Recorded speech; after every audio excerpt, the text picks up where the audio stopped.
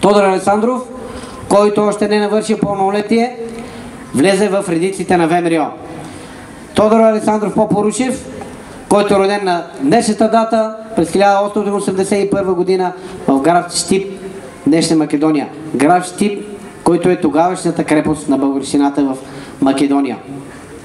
И именно Тодор Александров, който само за няколко години след Хюриета, след Малотурския преврат през 1908 година, успя не само да възстанови организацията, но успя да я извади от пепелищата и на Балканската, на Междусъюзническата и на Балканската война.